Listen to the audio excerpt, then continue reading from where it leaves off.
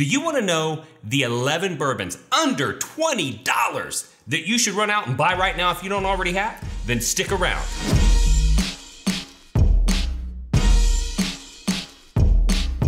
All right, Wes, we have done several top X lists. Yes. And the, the people, the people have spoken. That's what they want to hear about. Mm-hmm. They want to hear us tell them what they should drink.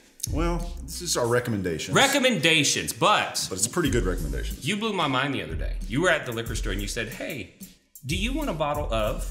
Evan Williams, Bottled and Bond. And I said, You know what? For what is it, 12 bucks? 14 like bucks? 14 or 15 It's like 14 bucks. I said, You know what? Grab me one. Yeah. I had never owned one. And then he brought it to the house and I drank it. And I was like, Bruh, bruh, why have I been wasting so much time?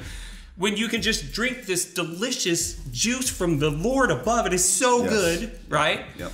And so that got me to thinking are there other under $20 whiskeys that people should be drinking? Absolutely. And so, do you know what we did? We went out and we surveyed you guys. We went into Bourbon Real Talk community and we said, What are your favorite pours under $20? yeah. And here's the list. What's the first one? The first one is one of my favorite distilleries, and if you've watched any of my TikToks or heard me on this show, you know I'm a big Jim Beam, Jim Beam fan. So, Yeah. Jim Beam Distillery coming in number uno with the old uh, black label. Yeah, yeah. So uh, Black Label, it is eighteen ninety nine for seven fifty locally here. Proof is eighty six, so a little bit lower in proof, um, but it- than what you and I normally drink. And some of these are inexpensive because the proof is lower and they were able to add more water. Uh, but for me, uh, the the the age statement is non-age stated, but what I looked it up, it's rumored to be six to eight years. Right. So that's a good bit of age for a bottle that's under 20 bucks. Heck yeah. And then the notes are like peanuts or like peanut butter. Right. Right. Your typical beamy. Ty- uh, typical beamy. beamy. Uh, number two, also from the same distillery, Jim Beam, is Old Grand-Dad bottled in bond. Wanted to throw the 114 in here, but it's just over, Just over. the 20. Uh, so the Bottled in bond uh, is 1949 in our market for a 750 milliliter bottle. It is bottle in bond, so it's 100 proof. Yeah. And it is also non-age stated, but rumored to be six years old. Mm-hmm. And I get like this uh, orange, like marmalade. So I was going to say that it, it it it hits me a lot, almost like a PB and J, Mm-hmm. which is probably some of that like marmaladey, Yeah. fruity, like jelly With- with peanut butter. but with the peanut butter still in there. So it's it's really good. It's really good stuff, and it's it's usually pretty easy to find, Yeah. but inexpensive. Look on the bottom shelves. This is where you'll find a lot of these. And, And it's, uh, and the other the other thing that's interesting about this one is that it is the same juice as Basil Hayden, Basil Hayden, yeah, which is like forty dollars a bottle, Right. And it's not any older, no, So it's, it's like not any better. and it's not any better. So it, you know, why not, uh, why not save a little bit of cash? So next up, and by the way, we have all of these in uh, distillery groupings. Would be Right. Ancient Age, which is a Buffalo Trace product. Mm-hmm. It is priced at 19.99 for a 1.75 liter. Gotcha. So when you do the math on that, it's less than ten dollars a bottle for a 750. So that's Wow. pretty impressive. Yeah. Only 80 proof, but I mean, what do you expect? Yeah. Uh, for less than 10 bucks.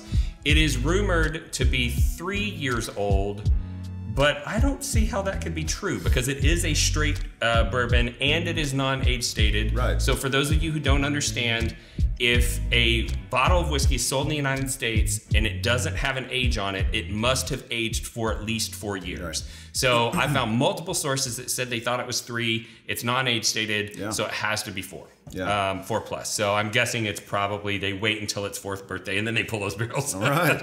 Well, speaking of number 4 Mm-hmm. that brings us to number four on the list. Another Buffalo Trace uh, product that they just acquired recently. Right. And that is the Early Times Bottled and Bond. Yes. Of course, with that Bottled and Bond, it's a 100 proof bourbon. Um, it's right at 20 bucks in, in stores. Uh, sometimes you'll find it at 20. Sometimes it's just a little bit over for the one liter bottle. That is right. Right. So, I some of these we had to do the math, right? So if it's a one liter bottle, in this case it was twenty forty nine. That's below twenty dollars Right, for seven fifty, so we included it. Yeah. Um, non-age stated, uh, rumored to be four plus years, uh, but bottled and bond regulations require it be at least four years. So it has to be at least four. And what I get from it right now, um, because it's still Brown Forman juice that's being Yeah. sold. Well, let me guess. Bananas. Banana runts for days. Banana runts. That's that Brown Forman. coming that Brown Forman kind of taste.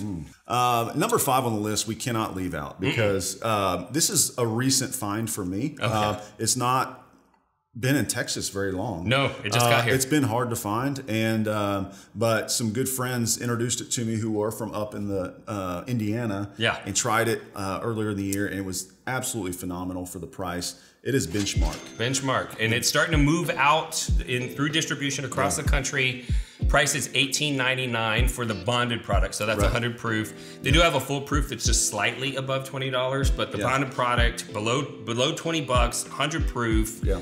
uh, non-age stated but it's bond and bond so it's got to be at least four years i'm guessing it, they again they pull it right at four years Right.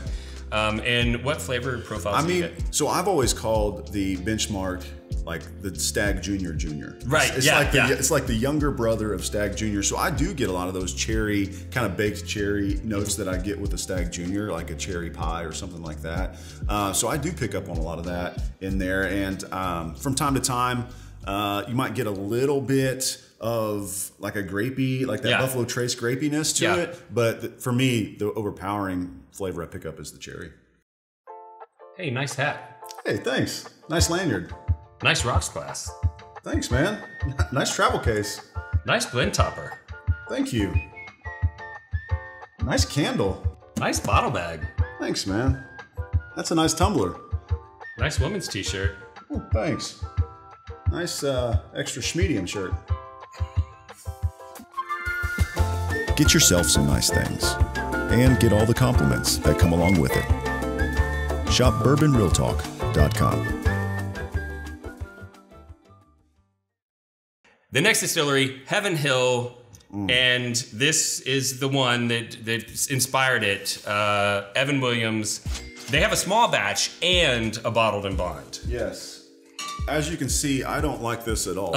Um, this little guy is probably the third or fourth of these that I've owned. So Yeah. sweet little Evan Williams bottled and bond. Yeah, you don't even have to feel One bad about like if you're making a cocktail or whatever, but it's delicious neat too. So You know, funny you mentioned that. Last night, we were out on the town, my wife and I, Uh-huh. Yeah, yeah. and she got uh, so the bar, the bartender messed up my order. I said I'll have an Evan Williams bottle and bond neat and a whiskey sour for my wife, and he put the Evan Williams bottle and bond in the whiskey sour.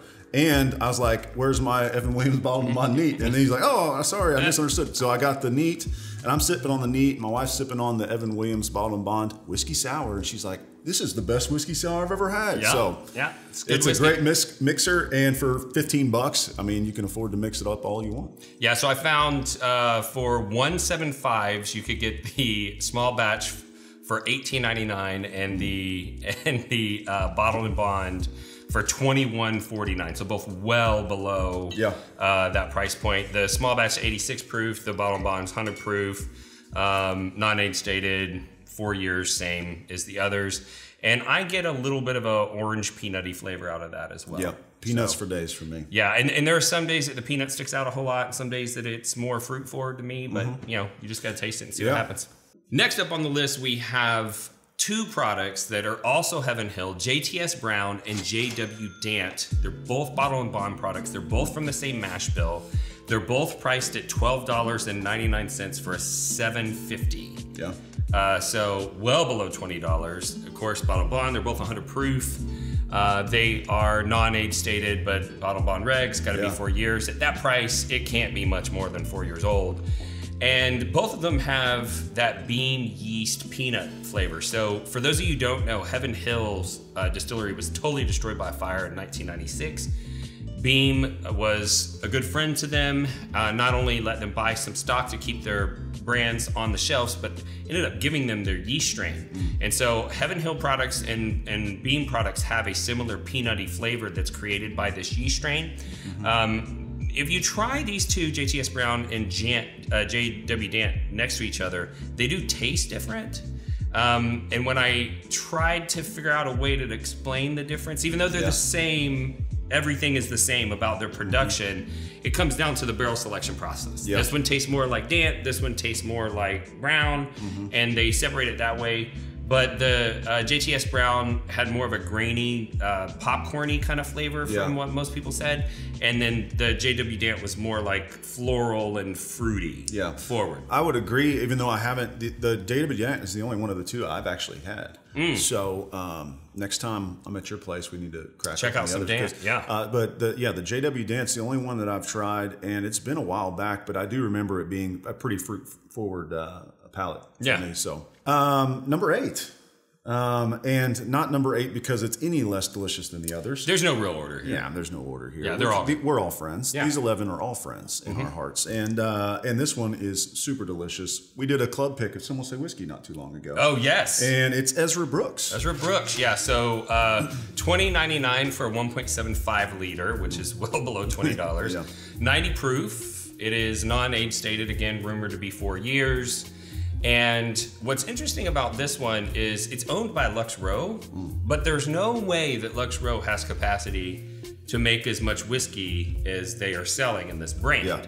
And so we know that it is um, their contract distilling it someplace. So that's interesting, but I get that uh, that peanut butter banana runts kind of flavor from it. Yeah. Um, and it's this is an interesting one because now that Sazerac owns it, it's going to be distilled at 1792, and um, they bought all the stock when Hmm. Yeah. they bought the brand, and we don't know when it's going to transition from from Brown Forman distillate over to the 1792. It'd be interesting to, yeah. to taste the two against each other. It'll be awesome. Yeah. Next up on the list is one of my favorite distilleries because they have so many products that I enjoy. Mm-hmm. Most of them are over that 20 $20 mark. Right. But there is one that is super delicious, and that's the Old Forester 100. Yeah, also known as the Signature Series. It is $39.99 for a 175 liter. So just barely came in under 20 bucks. Mm-hmm. If you buy the 750, it's over 20 bucks slightly, but if you do the math, um, 100 proof because it's, you know, the 100 proof Signature Series. Right, yeah. Four years. This one's interesting because they heat cycle the warehouse. Okay. And so you're going to get more extraction from the wood Yeah. by changing the temperature in the warehouse. So even though it's four years old, it might taste a hair bit older. Mm-hmm. Um, so that's interesting. And uh, what flavor do you get on? Uh, Almost every Old Forester, I get that that banana runts. Banana runts for so days. those are between them and Jack Daniels. I typically am going to guess if I'm drinking one of those two if I pick up on that. So Yeah. that's what I get on the uh, Old Forester. next up, we have Barton. Uh, 1792 distillery. Their inexpensive product is very old Barton, 100 proof. Ironic name. Uh, it is 13.99 for a 750 milliliter bottle. It is 100 proof, so it's got a little bit of proof on it. It's not age stated, but it's rumored to be four to six years old, which I would not consider very old. Right. Uh, but uh, the, the the brand has been around for a very long time, so Yeah, that's probably the very old they're talking that's the very old part, um, and it has that classic 1792 flavor uh, where it's like cherries, smoke, and sometimes the banana runts flavor. Mm-hmm. Yeah, But yeah. it's a combination. I always get cherry and, and smoke. Definitely get smoke for sure on, on 1792 stuff. So. And that's what I'm drinking right now, actually. Is it? Yeah, because you had a bottle, so I'll pour myself some. Yeah, it's very nice. Uh, it's only fitting to be sipping on a $20 bourbon as you're talking about the top 11. That's right. And we're at the end of the list. We're at the end of the list. So why don't And- you take this one? All right, so that we this one's number eleven, and I I had to squeeze it in there. It's Wild Turkey 101. Price is thirty nine ninety nine for one seven five. So Yes. an individual bottle is going to be over twenty, but it technically So don't come trolling in the comments here. We're doing our best. we're doing our best. and we're not mathematicians either. No, I had to get a calculator out. I'm not gonna lie. But it's close. It's, close. to that. it's very good. mark. I mean, you can, yeah, technically you're getting 750 milliliters for less than 20 bucks if you buy Yes. the big bottle. Yep. And really, this is number one in my heart. Absolutely. For me, this is this is my. I drink more of this than probably anything else. Mm-hmm. Li- uh, excluding this list, like I drink more Wild Turkey 101 than probably everything else. Mm. We use it for all our cocktails. I drink it neat. Mm-hmm. Um, so excellent product. It is 101 proof, hence the name. And what's interesting about this one is it's the oldest average age for something under twenty dollars. Mm. So this is a big value play because these barrels are six to eight years old. yeah. that's a lot of age for the price that they're selling. Absolutely. You know, there's a lot of angel share loss, so it's pretty remarkable that they're able to keep the price this low. And for me, wild turkey, I always get cherry. Uh, it's a nice cherry note. Uh, sometimes there's a little bit of nuttiness on the back end, um, but on Wild Turkey 101, mostly it's just a cherry flavor. Totally agree with everything you just said. So, all right, well, that's pretty much it. That's That's it. our top 11. And if you're, and we've uh, we've talked a lot about starting your bourbon journey, right? And so this is a great list for you. So tuck this list away on your phone, and next time you're at the store, uh, take your eyes down to the bottom shelves, bottom because there is really good juice down there. Really good juice. People have been sleeping on it. They've been sleeping, so don't sleep anymore. Wake up. Don't sleep anymore. Wake up. So, if this is your first time watching the podcast, I want to tell you about our show philosophy. We are about bringing people together through bourbon. And connection is something that's important to me because I did lose a loved one to suicide. And in the aftermath, I was looking for a way to help people feel more connected so that they didn't feel the way that my brother did when he decided to, to take his life. And the whiskey community gave me a glimpse into the connective power of whiskey. And I saw people of all walks of life getting together, forming connections, showing care and concern for one another. And that inspired me to start the podcast. Uh, that inspired us to start Bourbon Real Talk Community.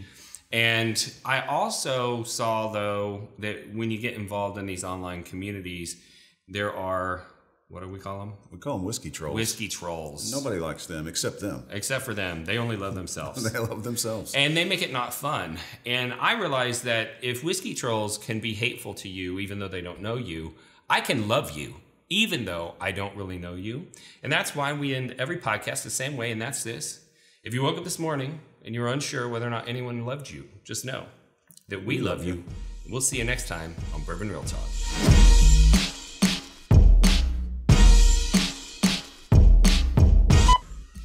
Here comes my bride. Dun, dun, dun. Quiet on the set. Uh, we're doing one quick recording. All right.